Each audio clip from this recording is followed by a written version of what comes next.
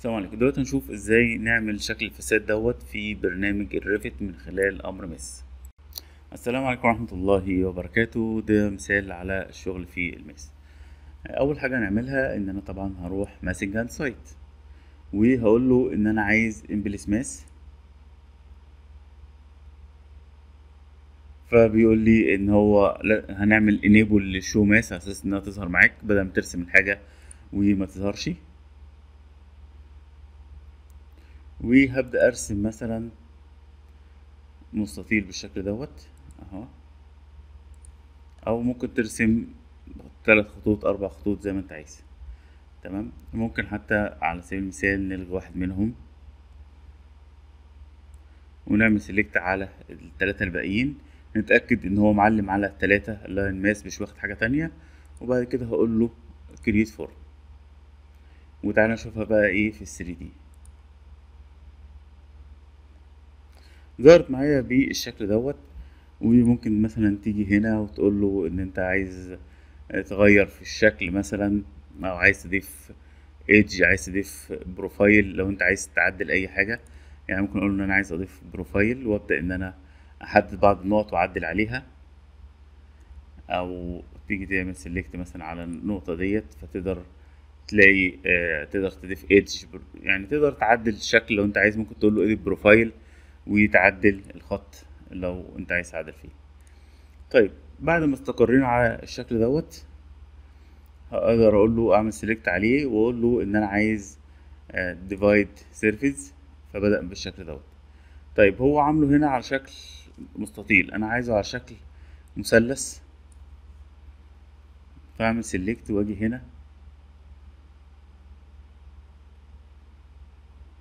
آه هو هنا عامل multiple category فأنا هقول له أنا عايز ال divide surface مش عايز ال form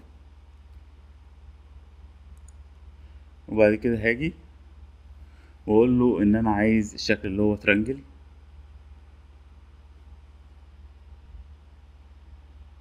أو أي شكل بقى اللي أنت عايزه. أنا مثلا لقيت دوت.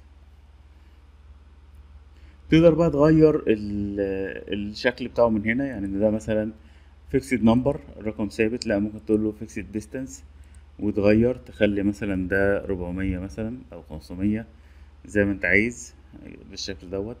لا أنا محتاج إن أنا أغير فيه دوت.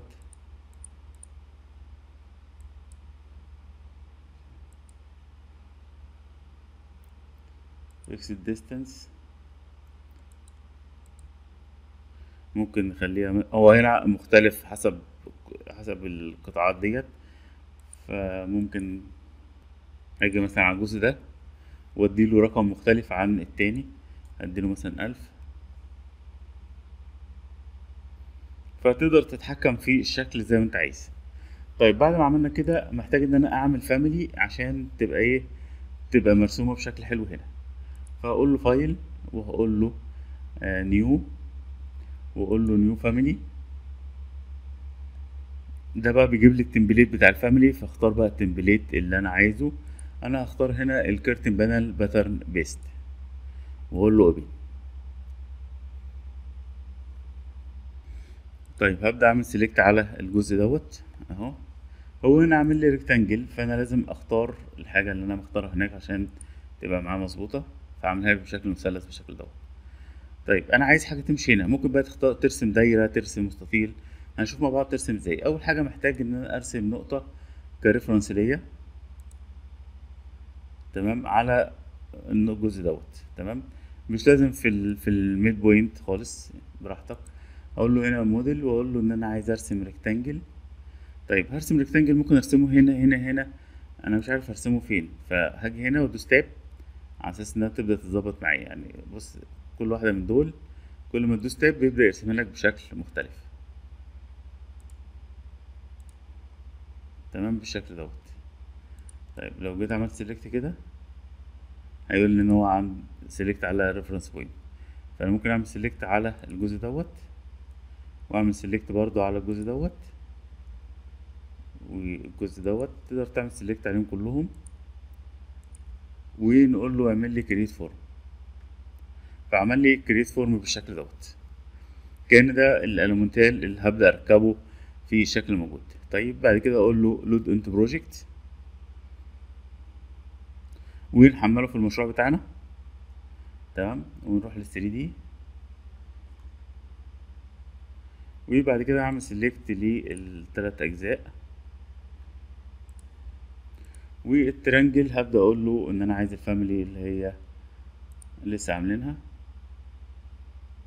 family 1 فيبدأ إن هو ياخدها ويبدأ إن هو يحطها في الشكل بتاعنا. فنلاقيها اتعملت بالشكل دوت.